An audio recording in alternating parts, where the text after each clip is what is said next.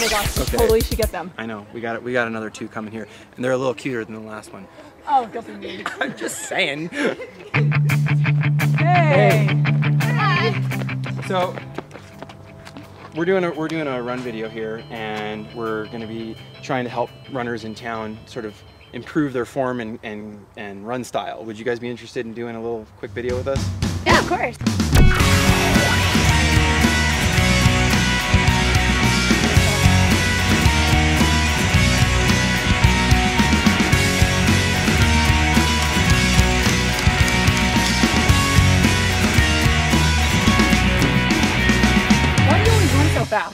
Well, you know, it's just what I do.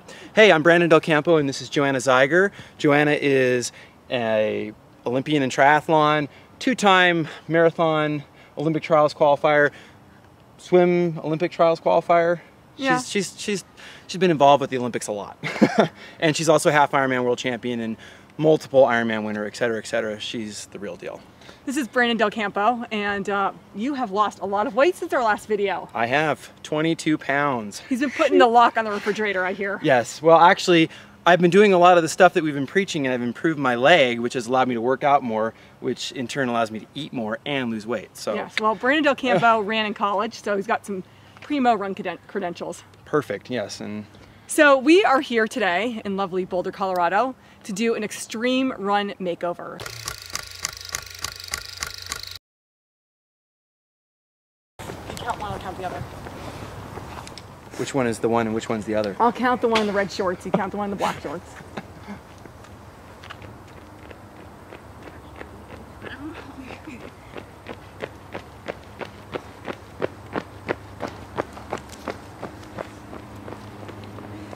All right, Okay, I, I got 18. What'd you get? I got about 20. About 20. Okay. Yeah.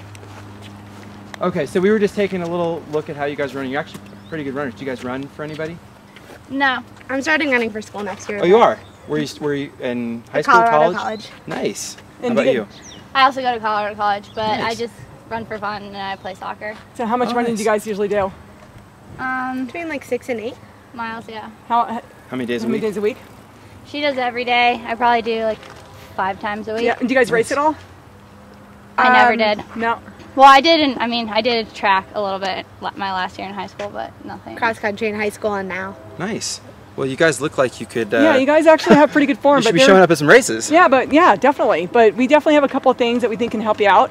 Um, one of the things that we think is really important is run cadence. And most people are running at too low a cadence. And um, so the run Do- cadence is how fast your foot is turning Yeah. over on the Okay. ground. So most people, so what you can do is for 15 seconds count how often your right foot hits the ground. And then multiply that by four. That gives you how often your right foot's hitting the ground in a minute. And we usually like to see people over 90. You guys are both around the 80 mark. Yeah. And what happens is when you run at a low cadence, you're just not running as efficiently. The, the legs aren't turning over as fast, the foot's on the ground a little bit longer. Um, neither of you actually particularly overstrides too much, No. but it could lead to that in the future. So, you know, running at a low cadence eventually leads to loping, where the foot's just landing way in front of the body, can cause some issues with the hips. So, one of the things that we want to really work on with the two of you, since both of you could work on that, is getting the cadence up. Yeah. So, It'll it'll it'll be a very easy thing to do with people like yourself. Yeah. So, I think like you're almost quick- there. Quick, quick feet drills would be good for that. I think quick quick foot drills for sure. Yeah.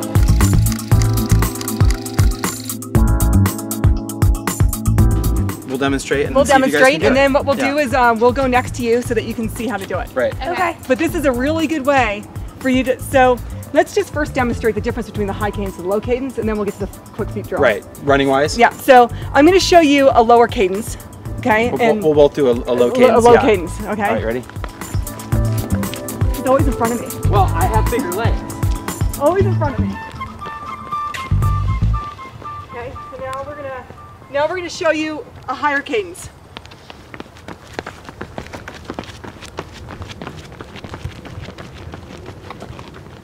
You see the difference? Yeah. The low. It's hard to do uh-huh. the low cadence when you're kind of loping along. But but basically what happens is the foot is just coming off the ground much more quickly and the feet are underneath the hips, which is where you want them to be to prevent some hip injuries. So now we're going to show you the quick feet drills. all right. So you're talking about just running in place. Well, just Yeah. just getting the foot off the ground. And as soon as you're comfortable running like this, start slowly moving forward. So you're coordinating the arms and the legs together and getting the feet off the ground really quickly. And you notice how when you do these, you can't you can't overstride. They're, your your feet are always going to be right right under you. Okay. All right, see you guys so do- why don't you guys get right next to me? Or why don't you- one of you on each side. Okay. I'll All right. watch and see how it's going. And then we're gonna start with our right leg, okay?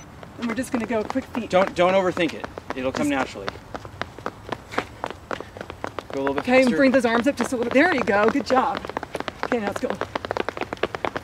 Oh, good. You guys are awesome Yeah, you guys get your legs going a little bit quicker. Okay, now let's move just a little bit forward as we're doing this. Oh, nice. You guys are awesome. I think you guys should go right into a stride out. Okay, ready? Now we're gonna start just to run. Ready? run. Run. Quick feet, quick feet, quick feet.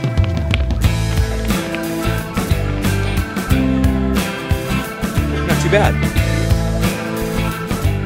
Your cadence picked up, but you need to get. You As soon to as get, you, as soon as you start to go high. faster, your cadence slow down. Yeah, try and try and get that leg off. It's almost like as soon as that foot hits the ground, get it off the ground again. You know what I mean? So it's because what happens? hear- don't make big do you hear strides? this? Don't hop, make big strides. Don't make big strides. Try and just try and get when you, that leg hits the ground, keep it under you and just get it off the ground because it'll pick. up- You'll you'll start to match each other's cadence, and you'll find that it will propel you forward. All right, so we're gonna do the same thing. We're gonna Yeah. Do the we're gonna do this in place, Yeah. move forward into a stride, and as you pick up your speed, just think about keeping those legs underneath fast. Right. Okay. I'll do the So- dr- I'll do the drill in front of you and go backwards, and that way you. Oh my gosh, I hope Joanna. you hit something. I know, right? How awesome would that be if you fell? Boom. Okay. Okay, All right. ready? Go. Okay. Fast, fast. Get your legs faster. Fast. Off. Don't bring them up as high. Don't bring them up as high. Oh, there you go. Just lower. So you see how we're just popping off the ground? Okay, now Use your forward, arms. Get your arms. Forward, forward, forward. Good, Okay, now good. it Now out. stride. There you go. Oh, good. Good job. Um, so do you always stay on your tiptoes? Because I feel like if I'm going that fast, there's not enough time to have like heel toe. Well, the faster you run, the more forward you will be on your foot. So if you look at like the 100 meter runners, they are like on their toes. People that are running longer distances tend to be a little bit further back. So the faster you run, the more forward generally you'll be on your foot. Yeah, and you know, you're obviously you're, you're exaggerating something, right? When you're trying to do this, so it's not going to feel totally natural. But if you just slightly start to think about the the fast, you know, incorporating this into your daily running, like a little bit before you start and when you end, then when you run, it will sort of naturally start to come into play. And, and just when you're running, periodically just look at your watch and count your cadence. And if you see that it's dropping, just think about shortening up the stride, getting those legs moving just a little bit underneath you more, and just getting that foot turnover a little bit faster. Yeah. Make you way more efficient.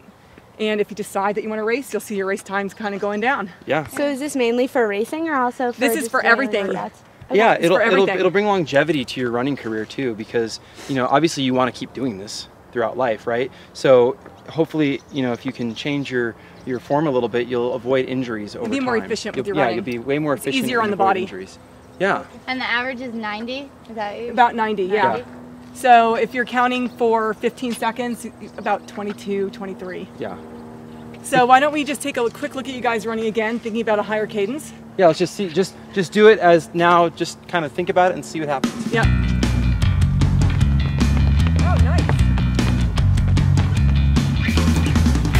All right, well, we can definitely see a cadence improvement here. Yeah. Good job, ladies. That's really good. All right, nice job. Yeah. Thank you. That, that's you some so good much. improvement. Yeah. All right, so- well, hopefully that didn't take too much of your time. And Not at all. now you've just got some really good knowledge to take with you when you run now. Yeah. So think about that on the rest of your run and enjoy the rest of your day. You Thanks, too. Thank okay. you. Yeah. We'll see you later. Bye. Bye. Well, I think that was a success. Yeah, definitely.